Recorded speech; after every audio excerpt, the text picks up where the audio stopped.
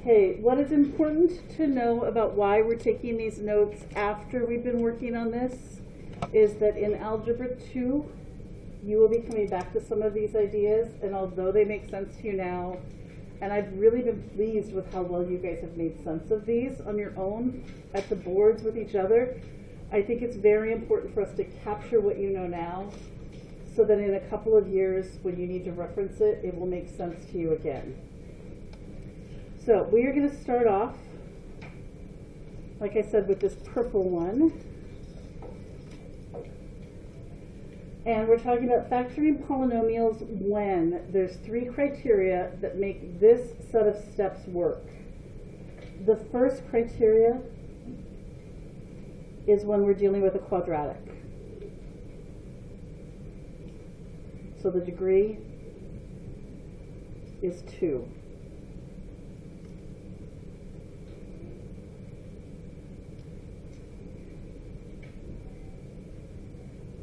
And in our example, you can see that this is a quadratic because it has an x squared in that first term.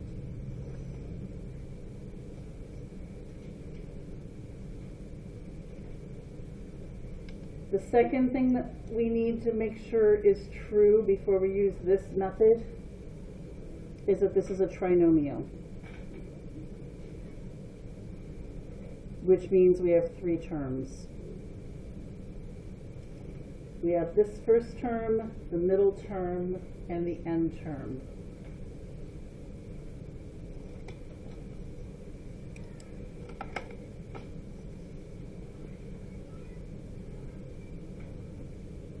And the final thing that's important in using this method is that we have an invisible one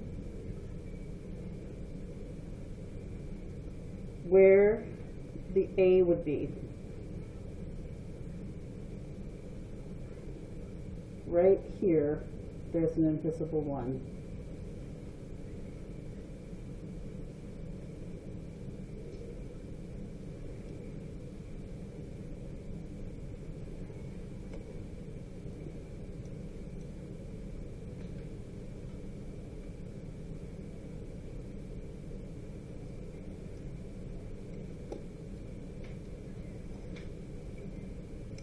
Next, we're going to talk about our X puzzle.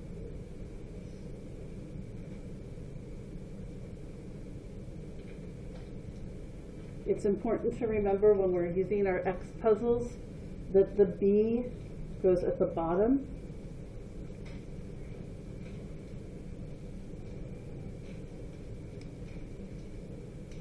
And the C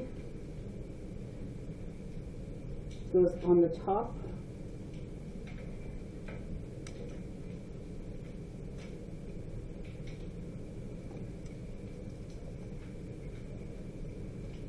When we're using these X puzzles, we have to remember that the C term is something that gets, it's the answer to multiplying. And the B term is when something is added.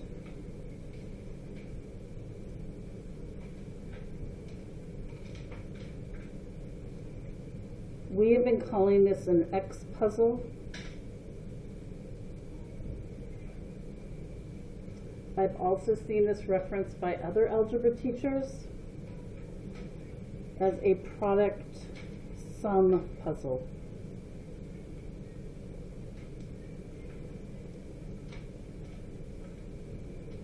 Why product sum? We get a product when we multiply. We get a sum when we add.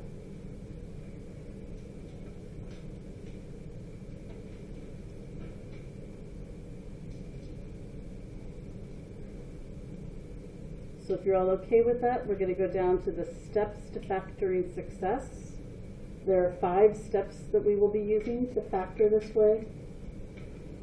We're going to do those five steps, steps on the bottom with our example. So I'd like you to write the example. We're going to factor x squared plus 4x plus 3.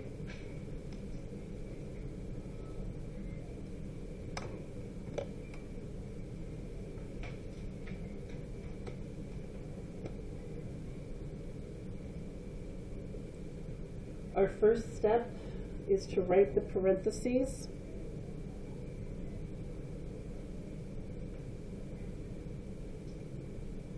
And fill in the variable.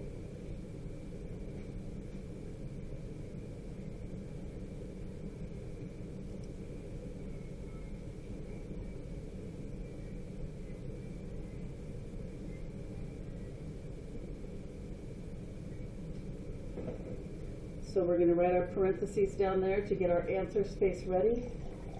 And both of those parentheses are going to get an X in the first spot.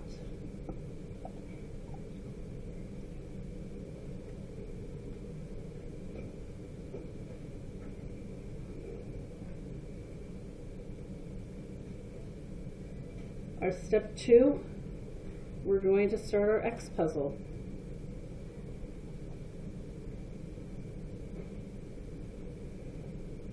And to start it, we're going to place the B and the C.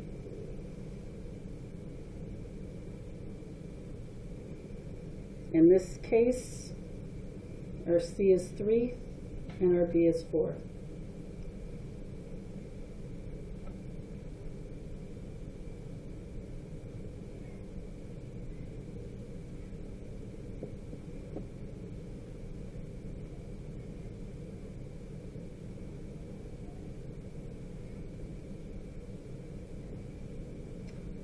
As we've been working through these, you guys have been doing this third part as you've been solving the X puzzles, but we haven't really talked about it much.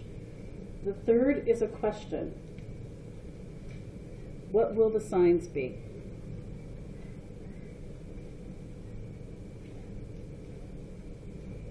Are we going to have a positive or a negative or one of each? We know things about when we multiply numbers and when we add them that make those, um, we need to know what the signs are going to be before we can put in the two numbers to fix it, finish our X puzzle.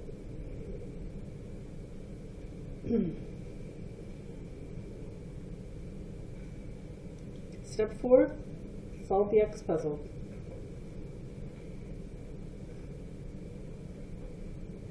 And complete the parentheses.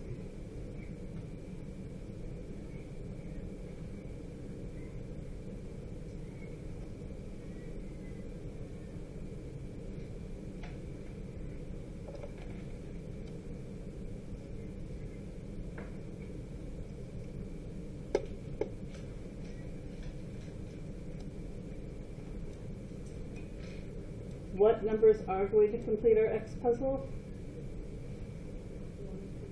One and three. When I multiply one and three, I get three. When I add one and three, I get four. Doesn't matter which order? It doesn't. We know that they are both positive. So to complete our puzzle or our parentheses, we're going to do this. Anybody want to guess what the final step is?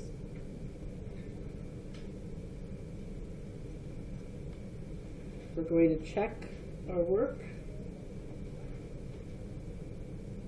using the box puzzle.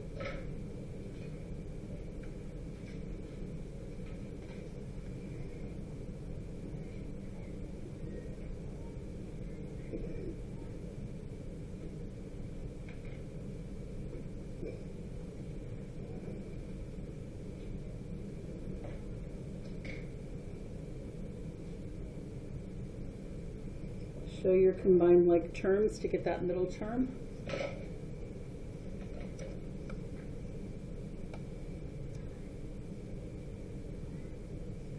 And that is the five steps that it takes for us to factor a polynomial when we have an invisible one as our first coefficient.